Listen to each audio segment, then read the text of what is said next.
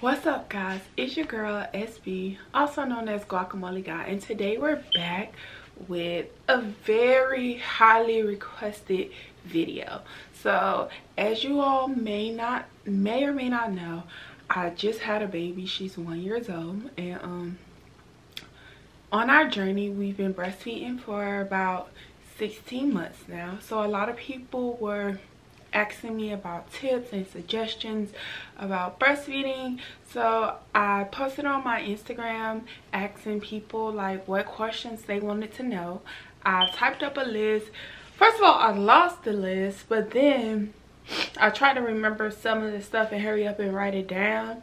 So there could be some some questions that i missed but overall i think i got most of them.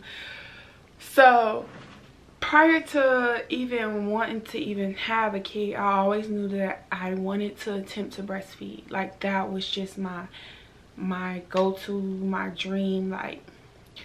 So at first let me just explain how my breastfeeding journey went before i get into the question. So at first my daughter was sent to the nicu.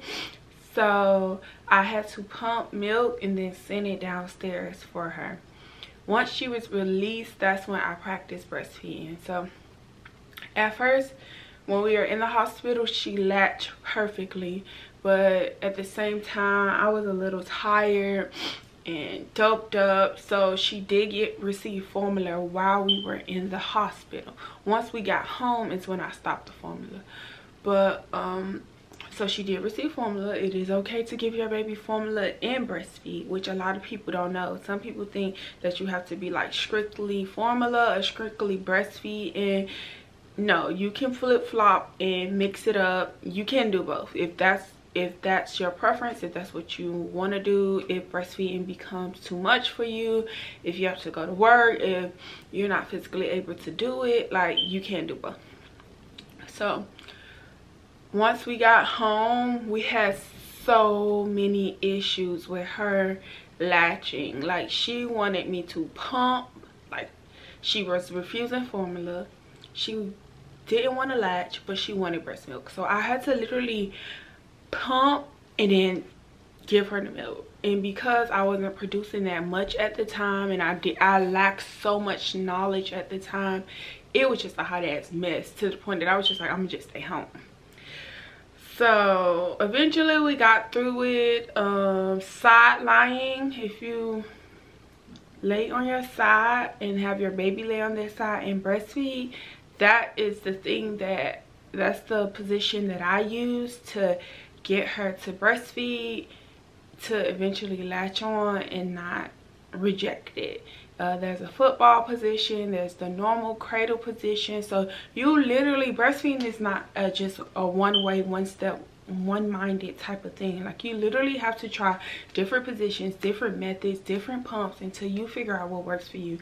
It's a lot of people ask is breastfeeding easier than formula?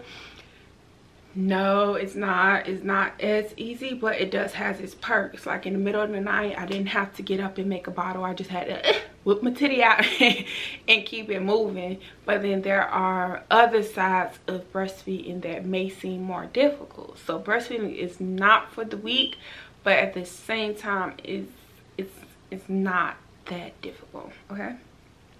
So that's my whole introduction. So let's just get right into these questions that um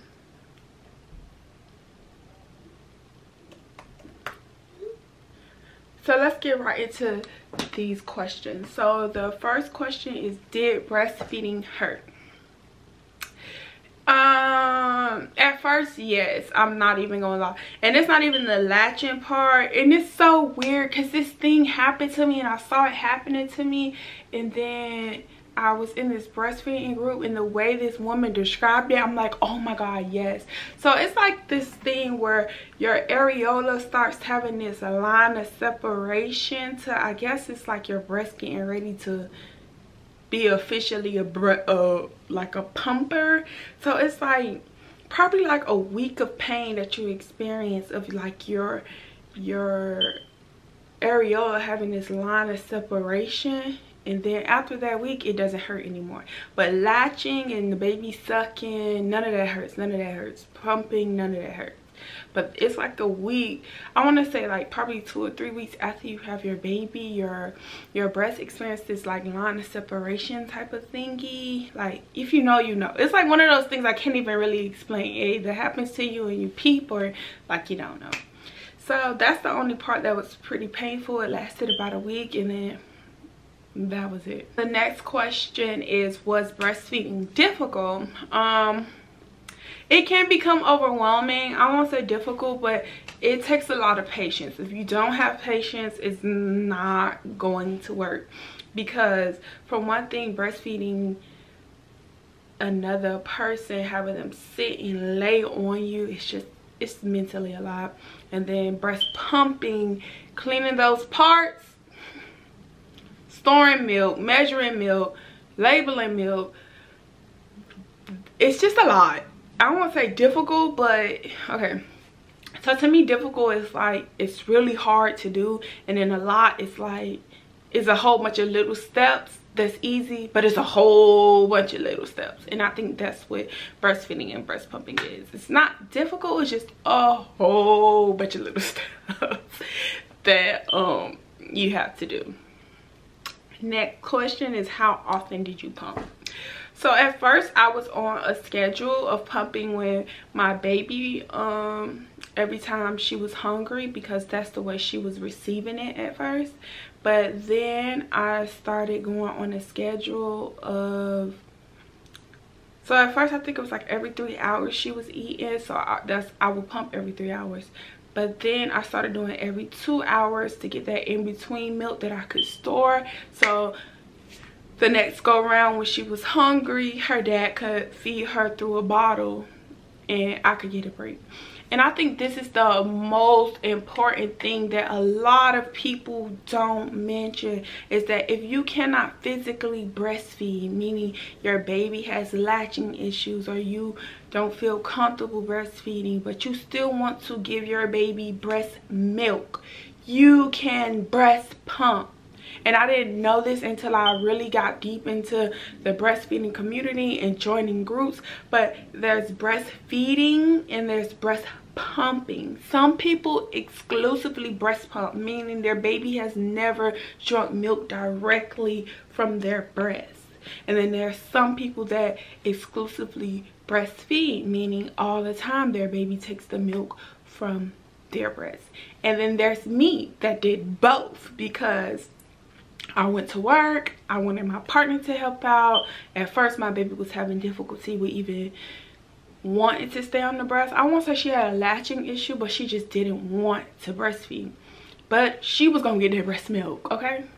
So I started breast pumping and then I started breastfeeding and then I did the mixture and now I'm back like because we're wrapping up our journey I just breastfeed her whenever she's sleepy but I no longer breast pump anymore. So there are different ways to still give your baby breast milk without just completely giving up on a journey. And i feel like a lot of women give up on the journey because they're like oh my baby's having latching issues. Or oh it's not working. Oh it's not going.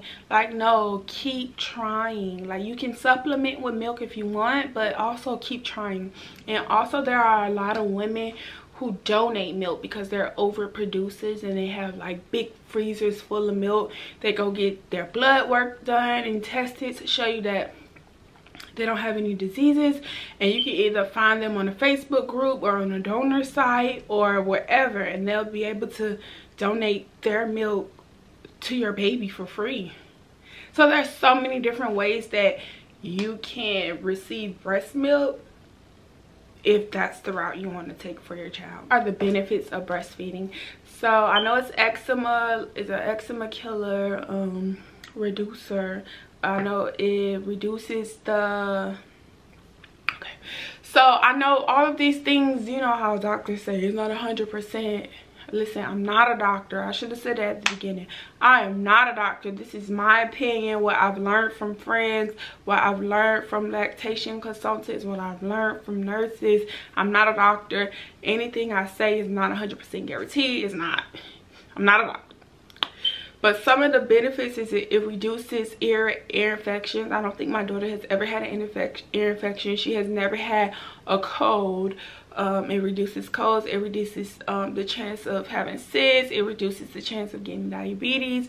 Um, it increases brain development. Um, it says that babies that are breastfed usually have a higher iq um,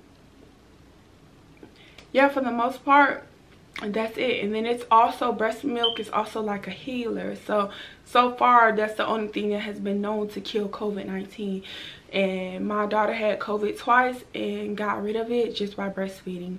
Um she's never had an ear infection. She's never had a cold. She's never had any of those things. And i think it's all in part into breastfeeding. And that's another reason why because covid is still out here and moving and grooving i don't want to stop breastfeeding but i do but i don't because she got rid of her uh, covid in like three days just off me breastfeeding because she was refusing to eat refusing to drink juice or anything. So she was just breastfeeding and got rid of um, covid-19 so that's the reason why i low-key want to keep it around but we gonna see. I've been low-key trying to build up a freezer stash so um when we part ways with breastfeeding when she gets sick i could just go and defrost some milk for her and give it to her that way. Um the next question is what pump did you use? So i used three pumps. At first i used the Medela pump which I got for free with my insurance. If you want to know how to do that, definitely click the description down below and I'll have the link to my video on reviewing the pump and how I got it for free using my um, health insurance. Number two was my Willow pump. It is a wireless pump. I used it um, mainly because I got tired of just sitting there in a corner trying to pump and not being able to do other things like clean up and move and because at that age your baby nap is about an hour. So if it's taking me 45 minutes to pump i i have have 15 minutes to even take a shower and try to clean up a little bit before she wakes up again. So i got the willow pump and it was a lifesaver. I loved my willow pump love love love love loved it. And then the third one was my manual pump by Medela which I received one free at the hospital but then I misplaced like a part when I was cleaning it. So then I had to go and buy another one. And this one was from Target and I believe it was like $49 and it's just a manual pump meaning you have to pump it yourself. And honestly this is the best pump. Out of all the pumps i've tried listen other women used to say oh my god screw all those pumps. Just get you a, a manual pump. Just get you a manual pump. And i was like girl bye. How this little thing gonna compare to my 500 dollar pumping machine? You get what i'm saying? It was just like no they was right. This. And it's so crazy because most of the stuff that I learned from breastfeeding, I learned from my best friend who had her baby a year prior to me and she swears by a manual pump as well. So that's just the crazy part about it. So someone wrote, my breast doesn't feel empty after breastfeeding. What should I do? So if your baby drinks the milk from you, right? And you still feel like your breast is full of milk, pump, sis, pump, pump. Pump and freeze it. Um, pump and use it to make soap, pump and use it to make a oat bath, pump and store it, pump and save it from when you go into work, pump. So when you have a visitor come over they can feed her and you don't have to be like oh you know give yourself a break. So if you're still feeling like there's milk inside your breast but your baby is full pump.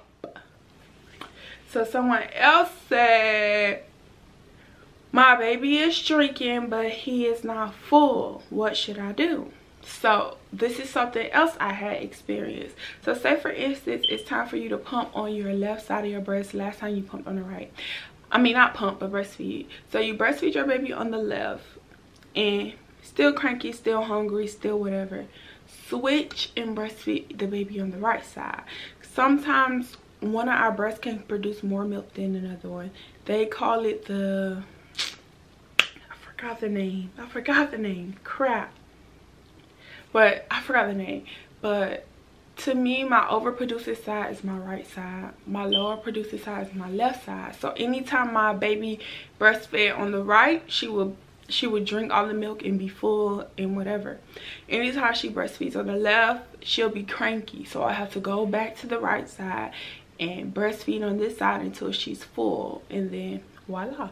So try to breastfeed from both sides before supplementing. And if you have to supplement it's okay. It's okay to breastfeed and still have to supplement by giving your baby formula. That doesn't mean you lost the race. That doesn't mean you didn't commit to breastfeeding. It's okay to supplement if you need to. Like the goal is not to just be so stuck to i just want to breastfeed. No i want to feed my baby and keep my baby healthy. So if i have to breastfeed from both sides of my breast and still make a bottle fine. If I have to breastfeed from both sides of my breast and still defrost some old breast milk, that's fine too. Like, whatever works for you like that's my goal that's like everybody is like oh tell me the tricks tell me the the tips whatever works for you works for you just go by it no one cares as long as your baby is healthy and happy and you are healthy and happy that's all that matters so my next question is uh what if my baby wants to breastfeed in public? Listen anybody that knows me knows that i did not want to breastfeed in public. And it's so crazy because like when you hear people talk about you and they're like oh yeah my baby is hungry so i just i just breastfed them and people had this to say it's just like girl yeah breastfeed your baby feed your baby and then when it's your turn to be the one that it's like you get a little bit subconscious. So at first i did not like breastfeeding in front of people in front of large crowds. Like i would breastfeed if i was like in my friend's house or you know something like that. But to breastfeed in a restaurant or like a party or like a store. I was just so paranoid till one day it was my friend's daughter my best friend's daughter her birthday party and my baby just kept crying. It was like what's wrong? Like she's hungry. And all of them were like it was like three of them that had breastfed their babies. They're like girl if you don't whip that thing out. Nobody don't care. Like no one cares. The people that care are weird. So they're like just go ahead and whip it out like your baby hungry. What you gonna do? Just not feed your baby? And, we, and they were like we just gonna sit here until you feed your baby. I was just like okay whatever. So then after that girl i only had one experience. And then someone asked me that like have you ever had experience of someone walking up to you and telling you to cover up or telling you like eh, and i'm like no. I only had one experience and it was so crazy because i was in like we have this thing called the flea market right? So i was breastfeeding in a corner and it was this older man that was trying to like peep over and look and i'm like you're giving weirdo vibes. Mind you i'm breastfeeding by the barbershop and it's like teenage boys standing right there minding their business. But then it's this old old man just trying to look and see and it was definitely giving creeper and also your baby might not like blankets. My daughter will snatch a blanket off her head and throw it on the floor in two seconds. So that was the barrier of breastfeeding that was hard to me. It wasn't the fact that i didn't want to breastfeed. It's the fact that she doesn't like covers and, all that fancy breastfeeding equipment i bought to cover her up a waste of money because she would just throw it and then breastfeed so definitely keep that. Should you pump and dump? Hell no.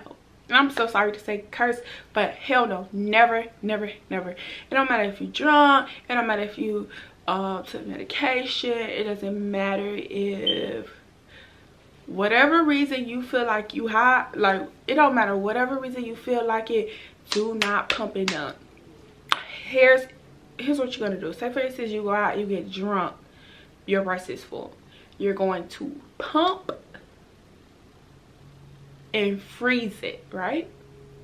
And then when your baby gets a rash or when your baby has any skin issues or problems inflammation sunburn whatever you're going to defrost that milk and put it in the tub when they take a bath.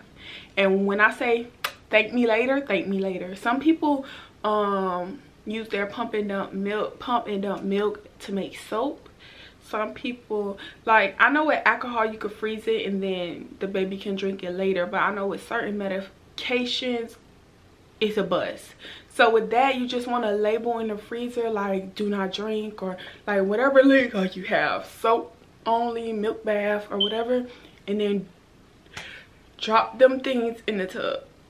And when i tell you your baby skin is gonna listen it it it helps heal cuts and bruises and listen don't pump and dump save the milk and use it for other things.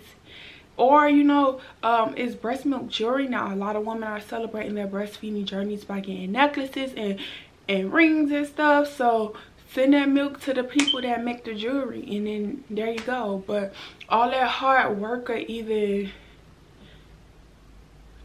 eating right drinking right being healthy and coming up with a routine and then you're just gonna dump it like never dump your milk never dump your milk never dump your milk. I do not support pumping up at all.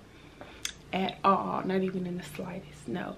Unless you like your breast full and you out in the club and it's hurting real bad and you just gotta sit there and squeeze it out in the sink girl. Trust me been there done that.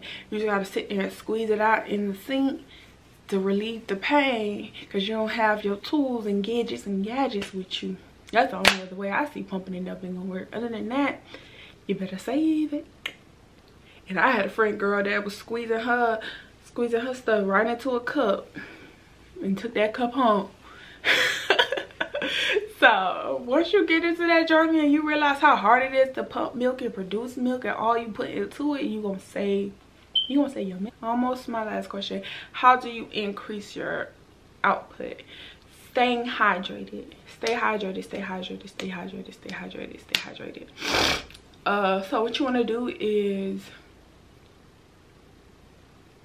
drink water or coconut milk. And a lot of like coconut milk is supposed to be um, the thing that hydrates you super fast and super heavy. That's why a lot of people in the breastfeeding community swear by body armor armor because it has coconut water. Why am i saying coconut milk? Coconut water in it. But my thing is i also swear by body armor but i would say to drink the low sugar no sugar body armors because those body armors are packed with sugar and it's a lot. But body armors definitely stay hydrated. Body armor gatorade whatever stay hydrated. Um eat your three meals make sure you have your three full meals. Like you have to take care of you fully in order to breastfeed. So you got to make sure you put it in to put out. So put in the water put in the food and the nutrition so you can be able to produce and come out. Um, i would say make sure that your breast is empty. Make sure like i said earlier if your baby is feeding but the breast like i said earlier if your breast is um feeling full but your baby's done. Pump uh pump as often as you can. Um breastfeed as often as you can. Um it's this rule i forgot the name where like you you pump for 45 minutes and then you pump for 30 minutes. So you pump for 45 minutes take a 15 minute break. You pump for 30 minutes take a 15 minute break. You pump for 15 minutes and you take I mean, and then you're done. And then you rotate that schedule. So I would say I tried that and at first it's not gonna work. So at first, when you pump that first 45 minutes, nothing ain't gonna come out. But it's just stimulating your mind and your body to know that, okay, you need milk, you need milk, you need milk. So then the next time, a little bit came out. And then the next time, one ounce came out. And then I kept doing it and then it started producing full bottle milks. So you have to like put your body on a schedule to produce it. Another way is like say for instance your baby drinks every four hours uh you want to pump at the two hour mark. So pump so one two hours go by pump and then three four hours breastfeed. One two hours pump one two hours breastfeed. You get what i'm saying? Add in that extra pumping section to to increase the milk flow and get things uh, going. Another thing is my lactation consultant um told me to start taking sunflower lychee and that worked lecithin i don't know how to say it. I'll leave it in the description box. But that worked and then i also the biggest thing the biggest two things try a manual pump a lot of these like i can say that i love the medela and i love the willow. They definitely was giving me five six ounces worth. But once i started using my manual pump it was giving me like 10 12 ounces. So definitely try to use a manual pump and see if that's the case. And then the second biggest thing is to get measured get so these flange sizes come in like a standard size of like 22 and i believe 26 or 28 one of those. So um your nipple might not be this size. So i met with a lactation consultant and i'll leave her information in the description box. But she measured my nipples and areolas and was ever and was able to give me a measurement of what size my nipples were. So i was able to um it's these things called um pump insert so you'll take the insert and insert it inside the pump and then now it'll give your your nipples a more secure pump. Because if you letting too much air in and too much space it's not gonna suction the milk see? It's not to suction it properly. So you definitely need to make sure it's a tighter fit to suction it. So definitely try getting measured and um, i believe it was like ten dollars for measurement and counseling for two weeks. And try getting an insert and sticking it in the pump and pumping that way and see if you see a difference. And also my insert was able to go in my manual pump my medela pump and my willow pump. So they're very versatile. But definitely try those things out first. Try manual pump and try insert try hydrating try eating and try putting yourself on a schedule. And uh, tips to make breastfeeding easier. That's all the stuff i just said. Another tip is when you're away at work say for instance make sure okay so this is gonna sound really weird but it's gonna work. So when you're home make a video on your phone of your baby crying. Like say for instance your baby's crying one day before you pick them up make like a quick little 10 second video right? So then you're gonna go home i mean when you go to work and you're pumping in your office and there's nothing going on and nothing of your baby play that video. And it says something about how like it mentally stimulates from your like it's telling your mind that your baby is hungry so then your milk produces and that should help with producing and pumping at work. Because i know some women have that issue as well. If you can't make a video make because like i don't know whatever reason take pictures and just look at pictures of your baby while pumping or watch the video while pumping. And that should help you come over that curve as well. I'm trying to think of like uh, oh the thing that i went viral for on tiktok. So say for instance you got a clogged duct um they have it now where you could buy like these breast massages and put them on there and it'll it'll help you like get the clogged ducts out but I learned to use a toothbrush, a vibrating toothbrush, or a vibrator, which you both, you probably got both at home. So instead of spending a $100 on some breast on vibrators that you have to throw away whenever your baby stop breastfeeding, the journey don't last long, use two, one of the two things that you probably already got that you use on a, on a regular basis, right? So you want to put either the vibrator or the vibrating toothbrush in front of the no behind the clogged duct it's either in front or behind. I don't remember. I think it's in front of the clogged duct and it'll release the milk out. So use a vibrator or a toothbrush if you're having issues with clogged ducts and hot showers and hot steams and massaging it out does not work. Um a lot of people i got a lot of backlash off using a vibrator but why not or if you're rich if you're rich go go spend a hundred dollars. Or if not say for instance you don't have a vibrator um if you look on my tiktok walmart target walgreens cvs they all have like a vibrator section. And they have like the little mini vibrators. I think they're like 27 dollars. You could get one of those.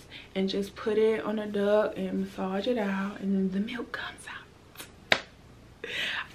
At first people like are gonna think it was you're weird. But then you don't even have to tell people so girl do you. Boo to you so i just want to say thank you so much if you've gotten this far into the video. Thank you so much for watching. Don't forget to give this video a thumbs up and comment down below if you want to hear anything more about my breastfeeding journey or if you have any questions. Also feel free to reach out to me on instagram at guacamole guy. And don't forget to subscribe please. If you made it this far there's no reason why you're not subscribed. I'm on the road to a thousand subscribers so um subscribe at the bottom. It's the red square it's definitely free 99 so why not? Until next time guys i definitely want to tell you thank you for watching this video because that means you're trying to become a better mother for your child and that's such an amazing journey. And the most difficult part about this journey is asking for help. So you did the most difficult part by watching this video and getting the help you need. So don't forget um if you need help or if you need um, resources, definitely reach out to me and I'll be able to help you. Until next time, guys, remember if it ain't about walking, peace.